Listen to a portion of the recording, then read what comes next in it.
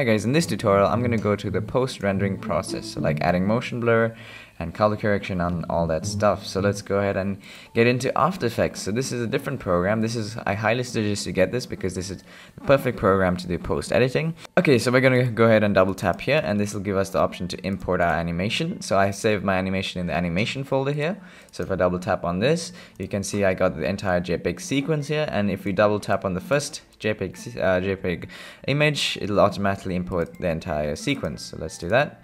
And now we got the entire sequence in. And if you want to change the frame rate, like say you animate uh, you animate it at 24 FPS, you rendered it out at 24, you can go ahead and do that and change it here. So I'm gonna leave it at 30 because I rendered it at 30.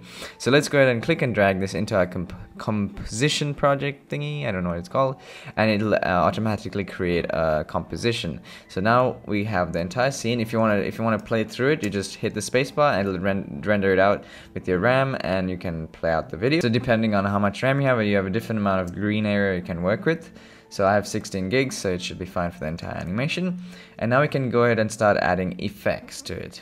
Okay, so now we're gonna go ahead and add an adjustment layer. So why I'm doing this and not just adding it to this layer, uh, all the effects, is because adjustment layer, it, no matter how many things you have, so like say we duplicate this three times and we like have uh, different scenes set up like this. This is the timeline, by the way, if you don't guys, if you don't guys don't know. No matter how many times you duplicate it, the adjustment layer will always take into consideration everything below it.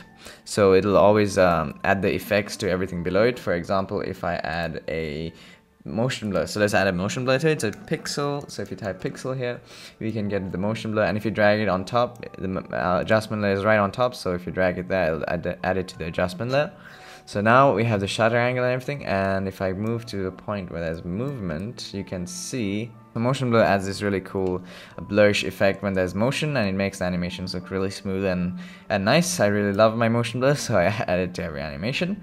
And as you can see it's added to all three of these um, these layers so yeah that's why I need to make adjustment layer if you're working with many layers you would have um, an adjustment layer Okay, so the only issue with motion blur is it creates this distortion effect when the camera changes angles.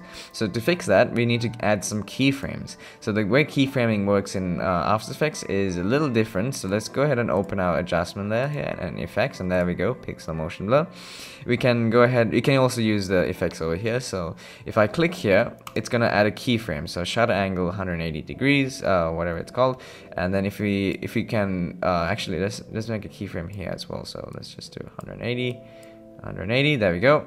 So this one we wanted at zero so this frame right here because it's distorting right from the camera change angle and then can move up a little bit and then uh, change this to zero again because actually let's move this here and then put zero. I don't know how to add a keyframe using shortcut keys and then move up a little and then we can add this to make this back to 180 and I'll resume the the motion blur that we saw before. So as you can see it's 180 and then if I move here it changes to zero and then here it's zero as well so it doesn't have that motion blur. So that's how I fix that. Okay so the next thing is adding color correction. So what I like to use is curves. So if I search curves here you just drag and drop it and then you get the curves right? So if I move this up you can increase the brightness. If you move this side it's going to increase the contrast a little. Um, so it's all up to you to mess around here and get the effect you want.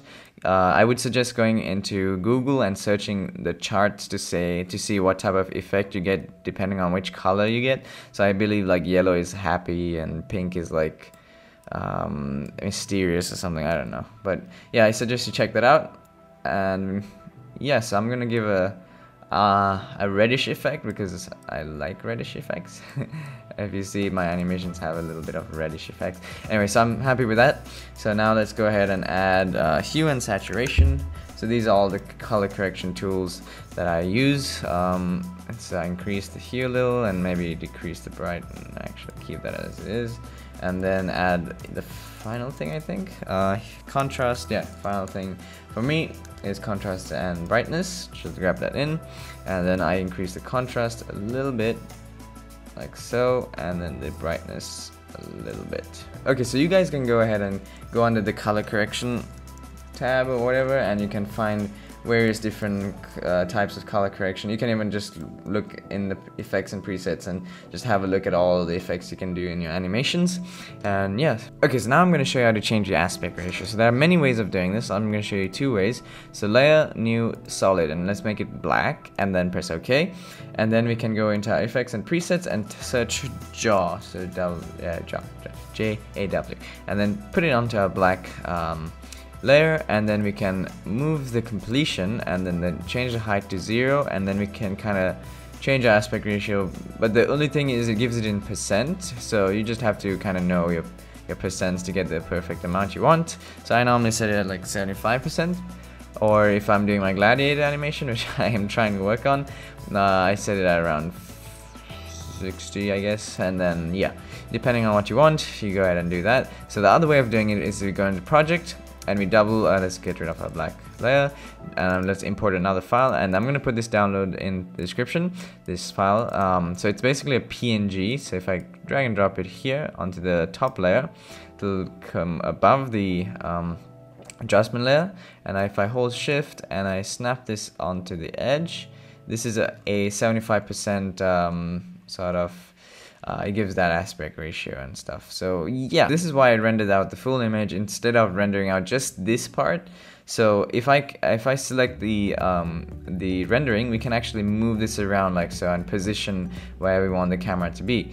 Um, so we can even add camera shakes if we scale this up like so and hold shift. And then you can uh, keyframe camera effects. So if I say go to where he falls, you can go to transform and hit the record uh, button for for position and then we can like move this say down a little up and then move this like this way and you can even rotate it and it'll give that small camera shake and you can render this through. Keep in mind the more effects you have it's gonna be longer to render out the yeah animation and yeah. Okay so now we're gonna go ahead and add some audio so double tap here to import our audio and then we can go and find whatever we want. So I'm gonna use a this this this audio clip has no uh, copyright so I'm gonna just load that in and put this in. And if you hit play you can hear the music. I hope it's on. And yeah.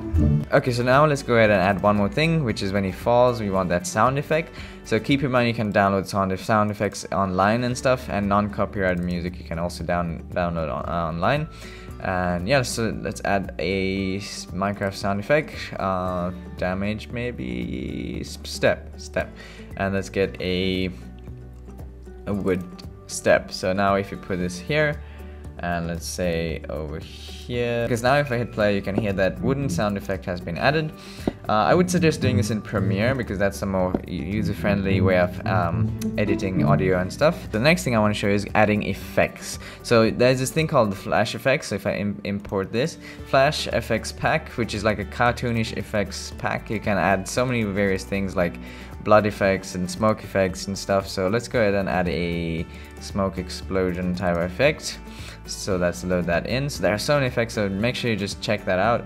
And yeah as you can see there's like a, a, smoke and you can scale it down. You can color correct it. You can do whatever you want to it. You can blur it out. You can yeah so it's up to you what you you want to do with it.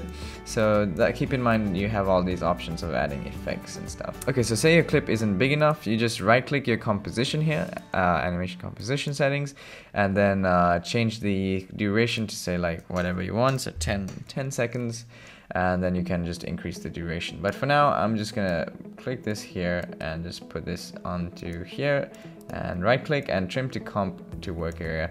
And this is what's to render out in your final animation.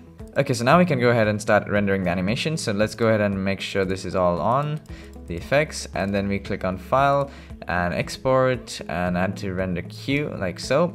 And then we want to save it on our desktop or something and name it tutorial and save.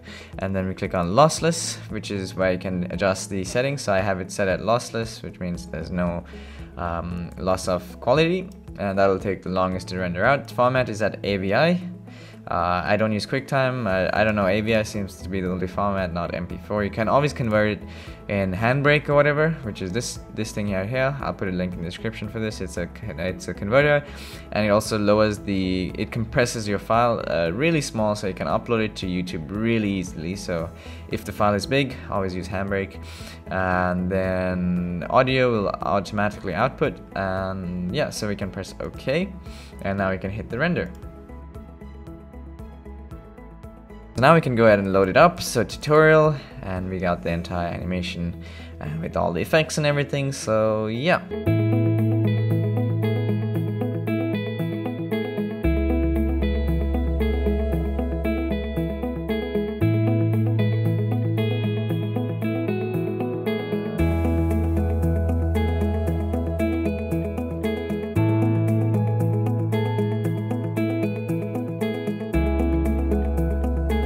I hope you enjoyed this tutorial. So now I've covered almost everything there is to basic Minecraft animations and stuff. So you're all set to start animating and everything.